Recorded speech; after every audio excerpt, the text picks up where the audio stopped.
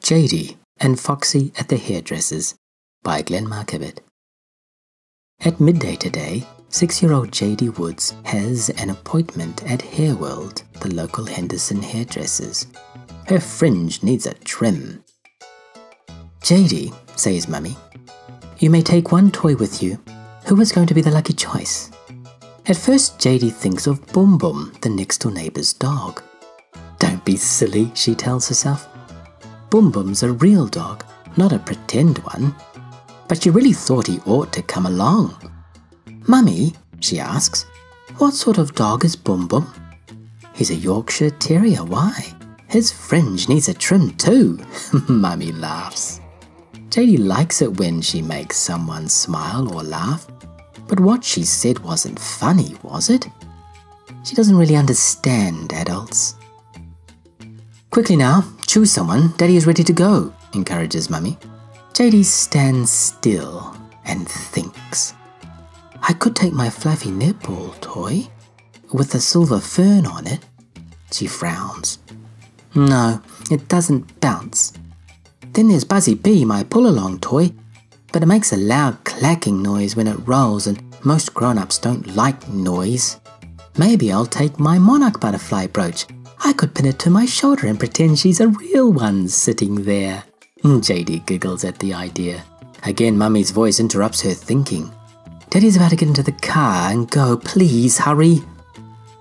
I can't choose between Kiwi, Foxy, or Haslo the bear, Jaydee calls back. Make the choice now, or you'll have to go without, replies Mummy. Jaydee consults herself. I'll pick Foxy.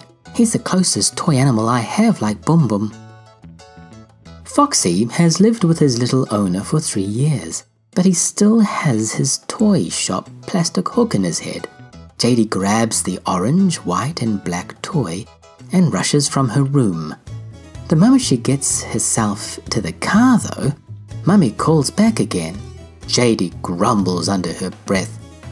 Mummies and daddies are funny things. I'm told to do something, then when I try to do it, I'm told to come back. What, Mummy? I'm trying to get into the car like you wanted. You're going to need this now, Mummy nods. She has Jaydee's black and orange polka dotted umbrella in her hand. It's starting to rain. On the way to Henderson Hairdressers, Daddy turns on the window wipers. The black rubber arms move quickly back and forth across the window, attempting desperately to lick up every splat of rain. In Jaydee's imagination, Foxy comes alive. He tries to catch the wipers. He can't, though, because they're on the other side of the glass.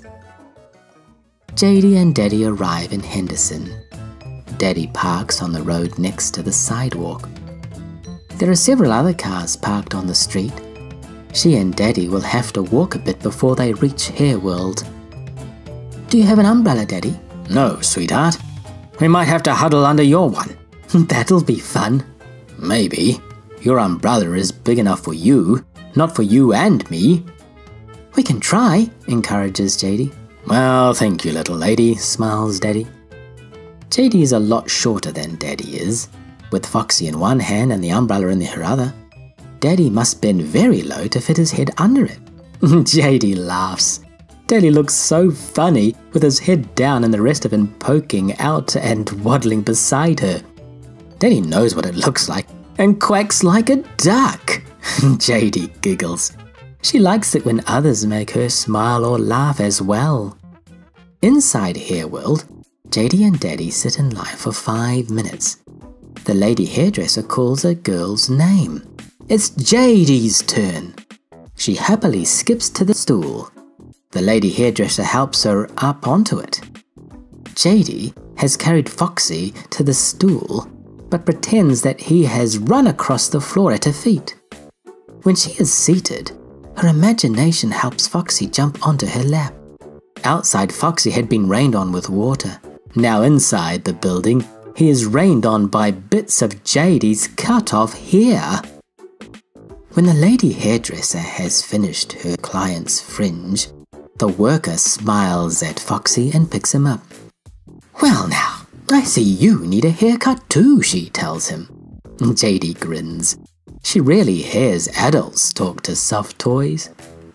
Would you like your toy to have a trim too? Okay, agrees Jaydee, and the lady hairdresser snips off the plastic hook in his head. She passes Foxy back to her little owner. Jaydee takes him and hugs him tight. What fun! We both had our heads trimmed today. Ready to go home, sweetie? asks Daddy, reaching out his hand. Yes, I'm ready, and so is Foxy. Jaydee slides off the stool and grips his hand. Now, I hope you don't plan on embarrassing your old dad again, are you? It's not easy quacking like a duck, you know. I don't sound anything like one. Perhaps this time you better hold the umbrella, and I'll quack like a duck. Daddy chuckles. Yes, your imagination is so great. I bet you would make a better duck. I would. And to prove Daddy right, she did quack like a duck, and did so with great gusto. And Daddy still ends up embarrassed. On the way home, the rain stops, and out comes the sun. The end. Thank you for reading with Storyberries.com. Free stories for kids.